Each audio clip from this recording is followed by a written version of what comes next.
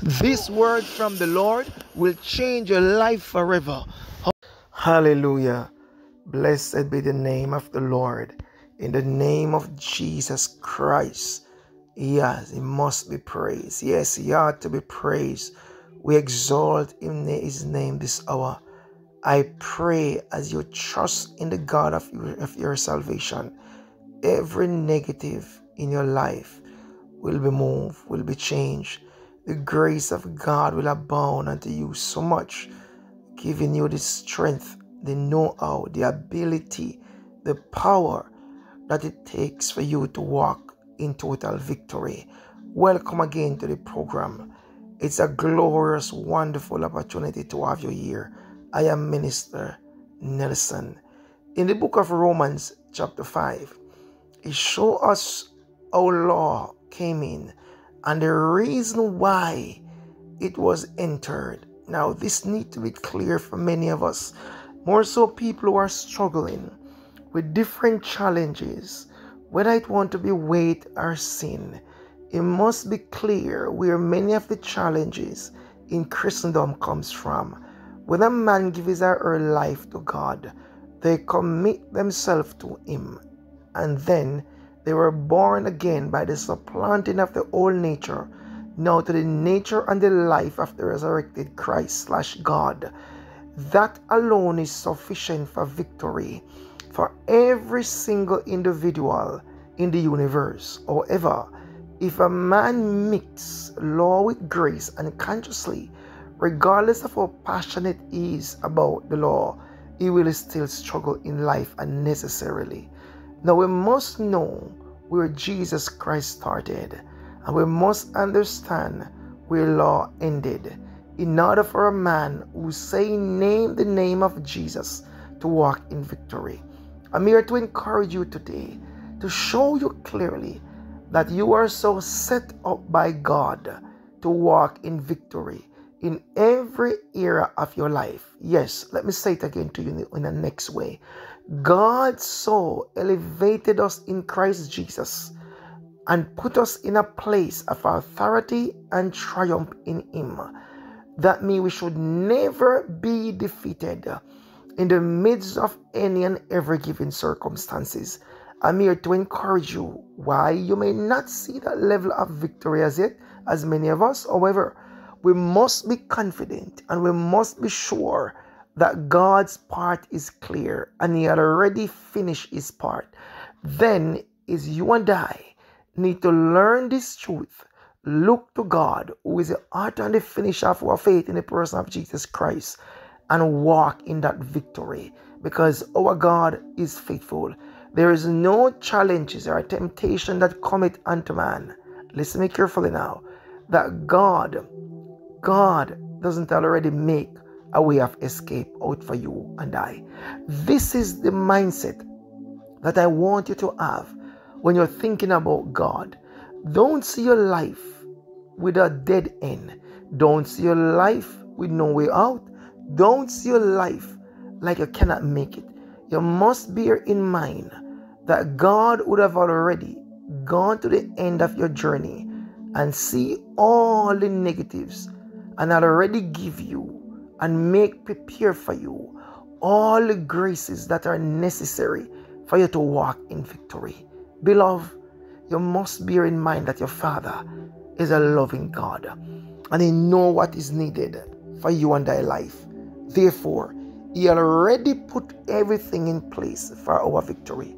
This mindset alone, listen, is a mindset that will land you three quarter of the journey or of the walk of faith already.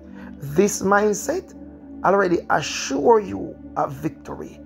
Now, if this mindset is not there, it takes away from who God is and it reduces God to be a cruel, wicked, and insensitive dad. So we have to bear in mind that if we have a child, we would have already buy the necessary things that that child need for the first six months, three months, two months, one month, etc., before that child ever get here and ever born. Now, this is key to understand. Why would we think like that? Because we get it from our Father. When it comes to God, we must bear in mind that God already make preparation for your arrival. Oh, this is beautiful. This is wonderful, beloved. If I can get this mind in you, in order for you to see how much you are loved, how much God went before you get here and prepare for you, it will take away all your worry, all your stress, all your unnecessary sleepless night, and you would focus on the love of God instead, instead, and focusing on your problem. I love the book of Romans, chapter 5. Verse 20 make it abundantly clear that something here need to take into serious consideration. Bear in mind what the Apostle Paul write here, beloved. Very, very amazing. He said, Moreover, the law entered that the offense, which is sin, might abound. This is just out of this world. Now, many people don't understand why law come into place, what God was trying to accomplish. Therefore, even today, men are trying to please, to serve, and do the law, fail to recognize that over and over, the Apostle Paul and others will tell you that if you understand what love is, then you would know that when you learn the love of God and you learn what it is to love your neighbor, then you would see that all the laws sum up in this one commandment. Why? Because if you love your neighbor, you will not covet him. If you love your neighbor, you will not covet his wife. If you love your neighbor, you will not want to murder him. If you love your neighbor, you will not carry false news or bear false witness. So all that which we try to look into and try to make it so be so technical is because we're trying to circumvent a way around the word of God that He given to us. And we believe that God did not know what we had before and what Christ come to give us. So it's like we are taking God as a blind person. Therefore, things are just written there, and God doesn't know why He put them there. Things are in sequence, things are in the right pattern, in the right place. So, law was given the perfect time in order for man to see the see their fall, in order for man to see their weaknesses, in order for man to be exposed, in order for man to recognize that they cannot make it with their best effort. Now it bring into light the fact that because of one man's sin, yes, every man fall. Every man fall because of one man's sin into that devastated place of condemnation for life. So he said the law entered or joined alongside us in the original of Greek. That's what he said here. But he said, where sin abounded, grace did much more abound. This is just out of this world. So he said, law came in in order for sin, the offense, to seem deadly, to seem dangerous. The offense must run its course. That's what it is saying. The offense must be obvious to every man. No man must believe that his or her good work or good effort could have provided or could have produced righteousness as God wants righteousness to be. Never. Every man must clearly realize that they need God. They need help. Otherwise, they cannot make it. And this is where many people struggle unnecessarily. God know you need help, beloved. God know you cannot make it. God knows that is the reason why he wanted to trust his grace. Not because he get weak, not because he change, but because it was always his plan. So law must run its course. Any church law doesn't run its, its course in that church will be suffering unnecessarily. Why?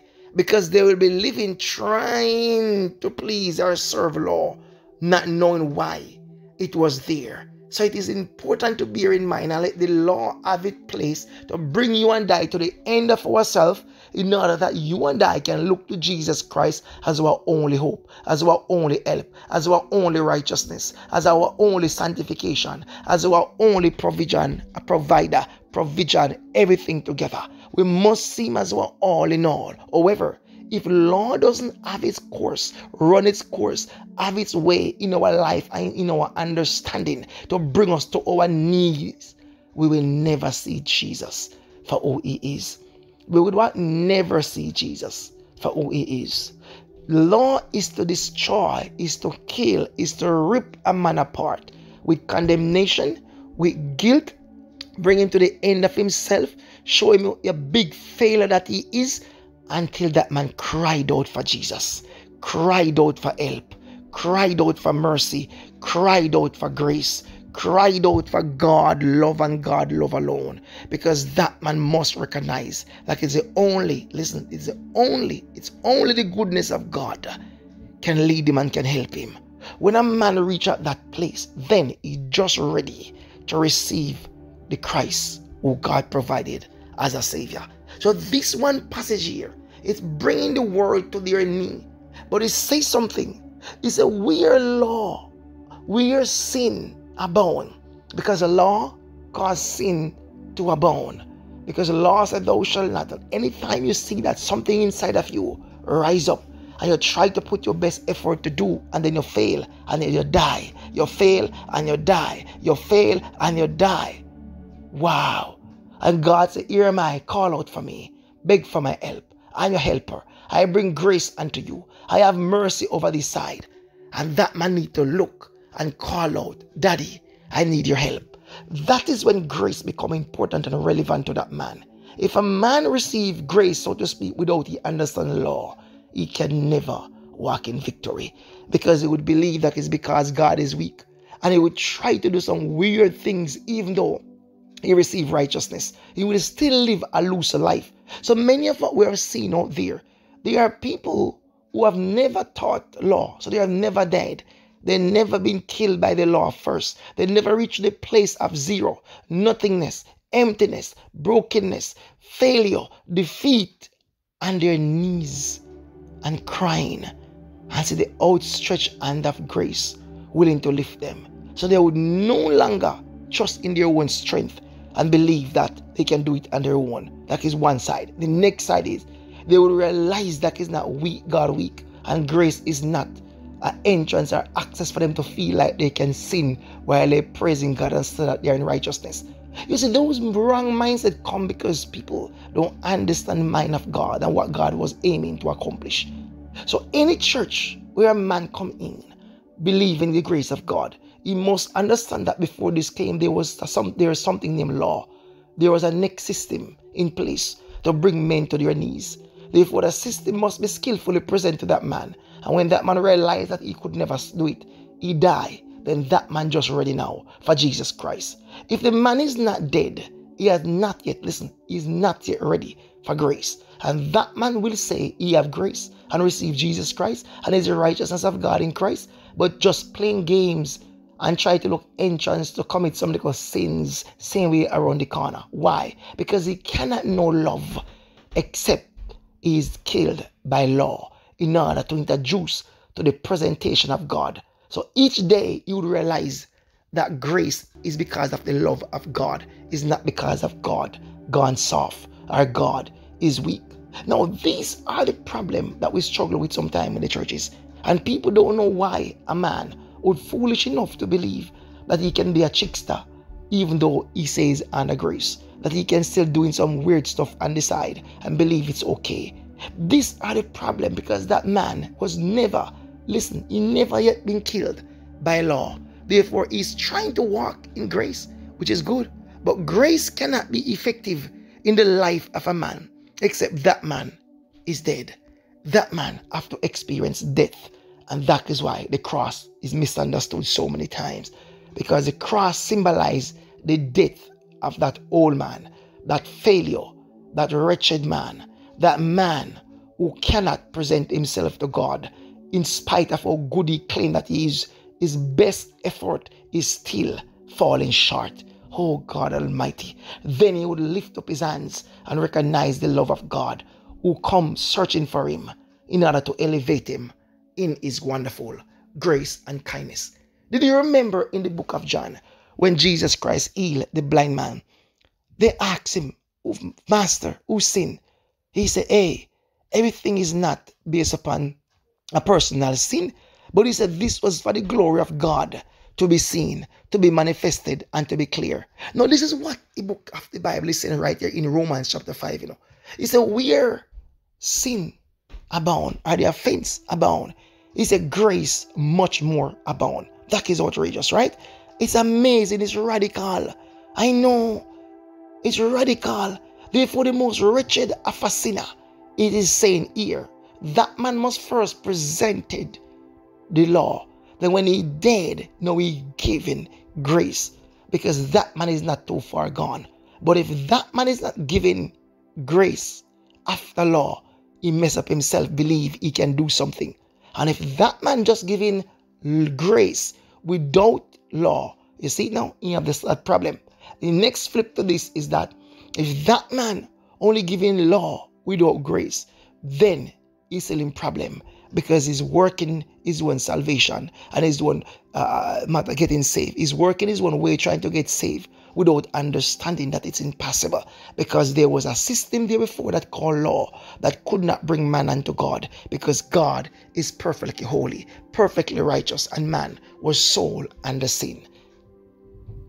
The book of Romans, chapter 3, 23 tell us all have sinned.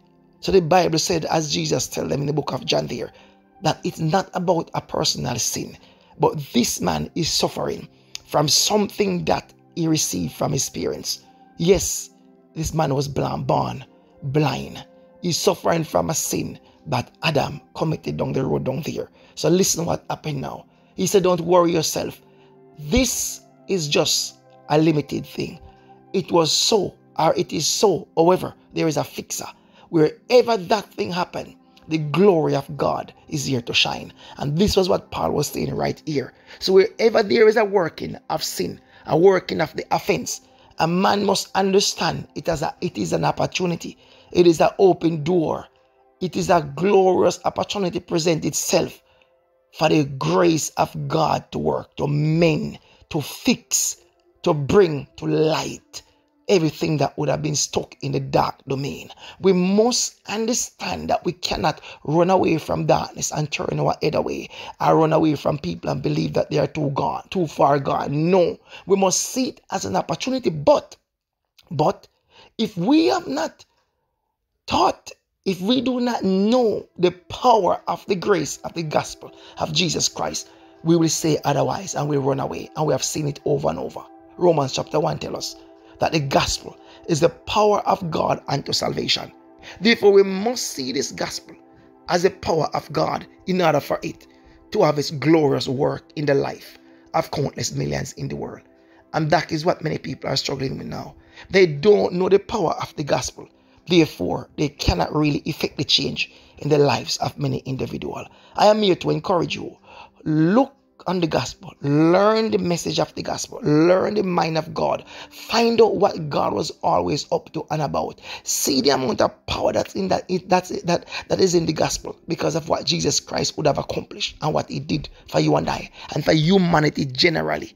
And then approach life with that mindset and see every sinner as an opportunity to become a Christian and become a person to serve God. Because now you would have seen that sinner that wherever sin may abound is just an opportunity because grace super abound. That's what it is in the greek.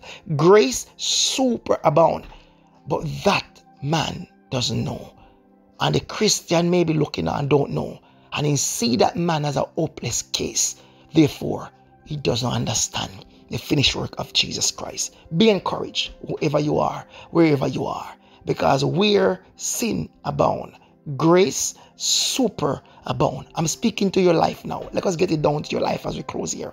Where sin abound or negative abound in your life, whatever circumstances, whether it's sickness, you have some lack, children run away, think negative in your marriage, note carefully that grace super abound. Don't believe that there is a case that God leave just like that and turn a blind eye on. No, He put the necessary things in place for you and I to walk in victory. We may not know, we may, we may not understand, but remember how we start this teaching. You must have in mind that as you provide for your children and put things in place for them before they're even born, at least God is better than you and I. Therefore, the least He could have done is put things in place. We may not know it, we may not understand it, we may not know how to release it. However, it doesn't mean that it is not there. So be upbeat, Yes, be upbeat. You're not at a dead end. Be encouraged. All hope is not gone. You are children or child of a living God, and He love you that much. God bless you abundantly. Thank you so much for joining us here. I pray you check out the description. Yes, and check out our online business opportunity because it's a glorious opportunity. God bless you abundantly. Thank you so much. I pray you walk in victory every step of the way in the name of Jesus Christ. God bless you. Amen. Hallelujah.